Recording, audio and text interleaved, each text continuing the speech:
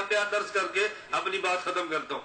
हमारे एक बुज़ुर्ग है, वो कार्य में एक देहात है और वहाँ के बुज़ुर्ग है अनपढ़ है। उर्दू ना बोलते हैं, ना उर्दू लिखते हैं।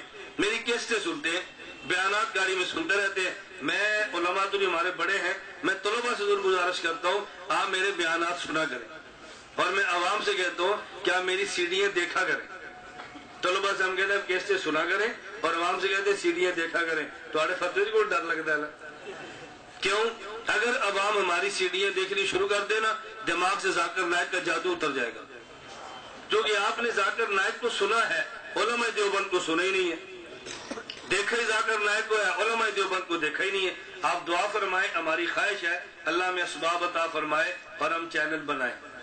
हमारी ख्वाहिश है, अल्लाह असबाब दे और हम चैनल बनाए। चैनल बन जाएगा तो जाकर नायक के जादू उतर जाएँगे। अब वजह क्या है कि जिस जगह पे बैठ के वो बात करता है, उस जगह पे हमारी बात नहीं होती। लोग उसे सुनते हैं और उनके दिमाग में आता है जाकर नायक बड़ा आदमी है।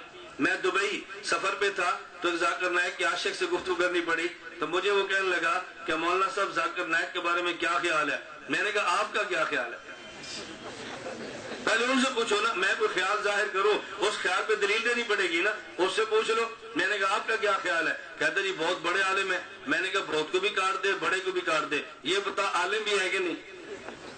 उसने क्या कहा? बहुत बड़े आलिम है। मैंने कहा, बहुत भी खत्म, बड़े भी खत्म। ये बता, आलिम है कि नहीं? कहते, क्यों नहीं है? मैंने कहा, किस मदरसे में पढ़े कहते, आलिम बनने के लिए मदरसे पढ़ना ज़रूरी है। मैंने कहा तो डॉक्टर बनने के लिए दो चार मरीजों को मारना ज़रूरी है? भाई डॉक्टर बनने के लिए भी तो कोई आदमी को पढ़ना पड़ता है ना? तो मौलवी बनने के लिए कुछ नहीं पढ़ना पड़ेगा, ऐसे मौलवी बन जाएगा। दो चार मरीजों को दवाई तो मर जाए, वो मौलवी बन जाएँगे। मैंने कहा, नहीं बनी, कोई बुनियाद तो होगी ना, अब उसको थोड़ी सी बात समझ आई। मैंने कहा, ये बताओ डॉक्टर जाकर नायक का आपने कभी बयान सुना है? कहता, मैं तो बहुत सुनता हूँ। मैंने कहा, कभी आपने एक घंटे का बयान सुनाओ और एक घंटे के बयान में कभी डॉक्टर जाकर नायक ने एक आयत भी पूरी पढ़ी हो? कभी। उसने कहा, मैंने तो गौर नहीं किया। मैंने कहा गौर कर लेना। जो बंदा नाजरे कुरान भी नहीं पढ़ सकता, मुझे बता बहुत बड़ा आलिम कैसे होगा। तब वो सोचने लग गया।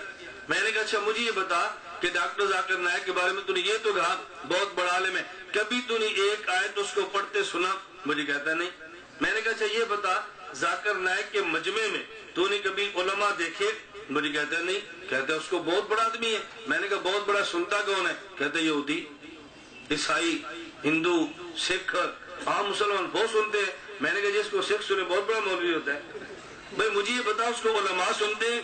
कहते ये बात तो मैंने कभी गौर नहीं की। मैंने कभी डॉक्टर वो है जिसे डॉक्टर माने, वकील वो है जिसे वकील माने, ताजर वो है जिसे तुजार माने, और आलम वो है जिसे उलमा माने बात उतरी है। ये तो मोटी सी बात समझ आती है ना।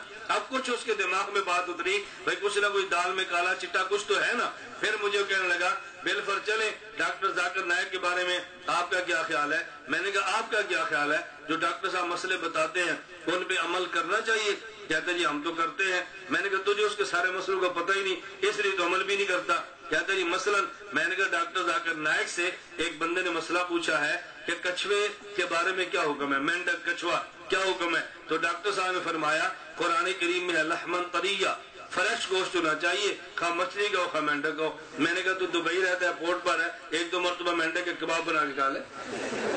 कहते, मुझे तो कराहत आती है। मैंने कहा डॉक्टर साहब कहते, ठीक है, तुझे कराहत आती है? अब वो सोचने लगा, ये कैसा बंदा है? मैंने कहा, जाकर नायक से एक लड़की ने पूछा, मर्द मरेगा, जन्नत में जाएगा, उसको जन्नत की बनी लड़की मिले जिसको हुर कहते हैं। औरत जन्नत में जिसको क्या मिलेगा? डॉक्टर साहब फरमान लगे इसको जन्नत का बना मर्द मिलेगा, उसको भी हुर कहते हैं। उसको भी हुर कहते हैं। यानी मर्द को लड़की मिलेगी, लड़की को लड़का मिलेगा। मैंने कहा, जब तुम्हारी आ रही है जन्नत में जाए, और उसको तुम्हारी बजाय को हुर वहाँ पर मिल जाए तो तुम कबूल कर लोगे। उसको जन्नत का बना मर्द भी मिला हो, तुम भी हो। एक तुम हो। मैंने कहा, कर लोगे? मैंने कहा, तुम्हारा डॉक्टर साहब कहते ऐसे होगा। और ये जाकर नायक ने लिखा है, इस्लाम में खातन के हकूक निस्वा इस्लाम में खातन के हकूक किताब है उसकी। उसमें खुतबात छपे लिखा है। मैंने कहा, मान लो, कहते नहीं। ये जाकर नायक का इल्म है। अल्लाह में बात समझने की तोफीक फरमाए। एक खातून ने मसला पूछा, औरत के वोट के लिए शरी हैसियत एक है, वोट की शरी अलग मसला है। दूसरा मसला